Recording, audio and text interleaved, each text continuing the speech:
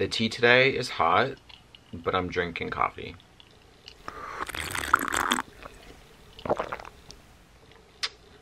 Yeah. Okay, so, oof. Story time. Welcome to my channel. Here we are. My name's Matt. This is a story time I've been kind of waiting to tell for a while, and I just felt like today was the perfect day. No real reason, but just here, here we are. Okay. Back in 2018, I was straight. I was in the closet. Okay. I was terrified. I was getting really sick of, um, you know, hiding my gayness. I honestly didn't know, like, what I was gonna do, when I was gonna come out. Anyway, go watch my coming out story if you wanna see all that information. But how this happened kind of shook me to the core. To this day, I still don't really know what happened. I came out in June, the month before June, which was May. It's May. My mom was hosting like kind of a women's small business thing at my house. So my mom runs a photography business. She invited like other local women that ran their own businesses to come over and then basically it would just be like a business convention sort of thing and it was just like a small little um, get together it was actually fun. One business that came was a psychic and this psychic was amazing. First of all she was very very nice. Second of all she just kind of like radiated this like I know what the you're thinking energy. I was shook. I was shook, shook, shook. Obviously, the psychic is like the hot topic and like the psychic. Everyone wants to see the psychic. I actually invited my friend. This person is not in my life anymore, so we're just gonna say that her name is Jessica.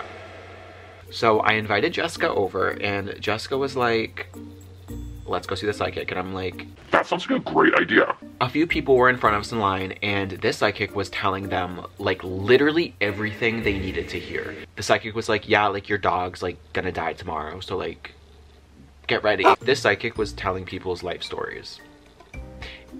And her customers were shook. This psychic was like, okay, like it's your turn, Matt. And I'm like, okay. I don't know why I was so scared. Like, I didn't know what she was gonna say. Like, I, I wasn't even necessarily, like, nervous over the fact that she was gonna expose me, that I was gay, and, like, ask me in front of everybody. I was just, like, nervous in general because that was my first time seeing a psychic but also me being in the closet was like a huge factor so let's not like overlook that she was just asking me like all these crazy things like all these crazy questions she literally was telling me everything going on in my like week that week and also that month and like things from my past in my life that no one would have known. So after talking, she was like, she kind of gave me like a look and she was like, yeah, like this was great. Like I'm so happy that we did this. I'm like, yeah, me too. I got like a lot of like cool information about myself, some like future predictions in my life, which I kind of forget now, but whatever. Next up was my friend Jessica. I was like, okay, like cool, like I'm in the clear, like I just saw the psychic, like yeah, this was fun. My friend Jessica goes, at first it was going great, basically the same deal with me. Psychic was pulling things from her past, Psychic was like telling her um, some things in her future, and then the Psychic was like, Jessica, you might want to ask Matt to leave and I was sitting right next to her. I was like, I was listening to the whole thing, and Jessica was listening to mine. And the psychic told me to leave. Bitch! Uh, like, what the f? Like, no, no, no, no, no. I'm staying. And then Jessica was like, no, leave. And I'm like, bitch, oh my god, they're gonna talk about uh, me being gay. I didn't think that because I was being selfish and I'm like, oh my god, they're gonna talk about me. But I thought that just because I was like, at that point in my life, I was like so paranoid in my head about my sexuality and I thought like everybody was like talking about, like, there was a lot going up, going a lot. There was, there was a lot going on up here okay, like, I guess I'll leave. But I was terrified. So I just go inside and like I'm sitting on my phone when is Jessica gonna come out? And like, when is she gonna tell me what the fuck is going on? Let me, uh, drink my tea. Coffee. So Jessica comes in and she goes, hey, wanna talk? I go, yeah, sure.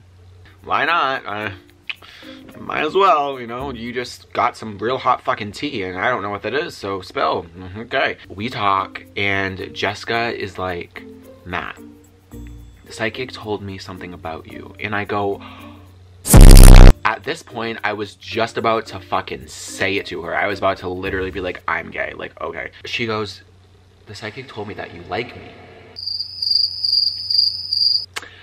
And I have a sigh of relief inside. The psychic was incorrect. The psychic told Jessica that I, I, I liked her. Physically, emotionally, sexually. No. The psychic didn't know that I was gay. Clearly. Or did she? Here is the fucking tea. So I started talking to Jessica and I'm like, like, I'm sorry. Like, I just, I just don't like you. Jessica said, the psychic told me that you would say that. Like, are you sure? Like, do you want to talk about it? Any of this? And I'm like, I'm like, bitch, I don't like you. At that point, I just didn't have like a valid excuse other than the fact that I didn't like her. But Jessica started asking all these questions and I was like, Jessica, honestly, if you had just, if you just knew right now that I was gay, all of this wouldn't be a thing. I like was honestly about to tell her right then and there that like I'm gay. Like that's why I don't like you. But I didn't and I was this fucking close to doing it, but I didn't. Excuse me. So we had that conversation. It was really fucking awkward because Jessica thought I liked her and I literally did not like Jessica. So that was weird. Anyway, a few days later, I was like really thinking about it and I just felt like really bad. At that point, I just felt like I was, I don't even know how to explain it. The psychic honestly kind of lit a fire under my ass. By Jessica approaching me about that, I just felt kind of like shitty over it. Like I just felt like I was lying to her. I felt like I was lying to myself. After that conversation, I just like didn't want to like lie anymore, if that makes sense. It literally pushed me to the point where I ended up telling Jessica that I was gay. Jessica was the first person that I told I was gay.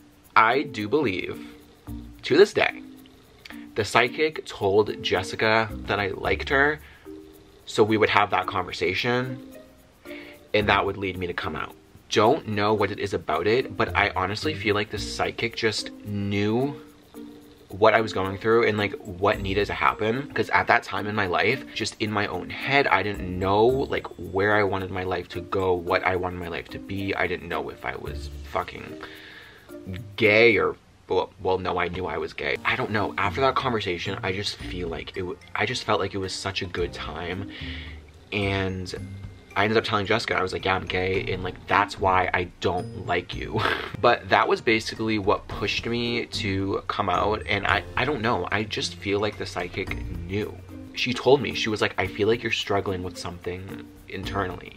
I'm like, girl, no, like, I'm fine. Like, what are you talking about? Like, I'm not struggling with anything right now. That's how that went. Pretty sure the psychic knew I was gay. Disclaimer, the psychic literally could have been wrong. like completely wrong. Like very, very, very wrong. We'll never know. I do think psychics are real, especially after that event. Thank you for watching. If you like me, you can subscribe. If you like this video, you can like it. Go see a psychic today or something. Why not, you know? Well, actually, it's gonna be kind of hard because quarantine, but just